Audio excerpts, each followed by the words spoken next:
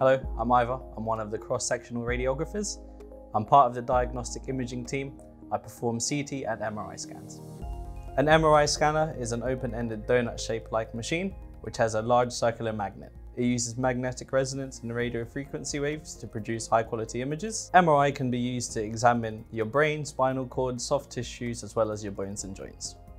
During your examination, you'll be asked to lie flat on the MRI scanning table.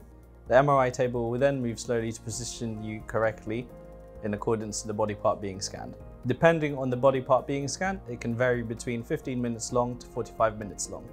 The scan can be quite loud and noisy, however it will not be painful or harmful in any way. A common concern patients have with regards to medical imaging is radiation exposure. With MRI there is no radiation involved. MRI uses high frequency waves and magnetic resonance to produce high quality images. At OSD Healthcare, we are fortunate enough to have two MRI scanners.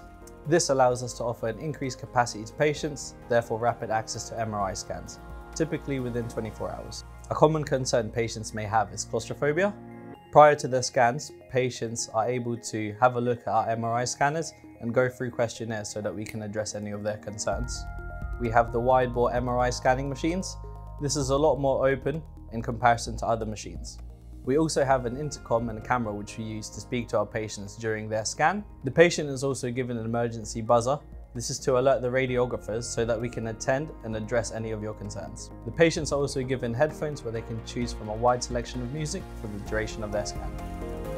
We are very proud to be accredited and regulated by QSI, therefore ensures that we are continuously improving high standards of patient care delivered by skilled staff in a safe working environment.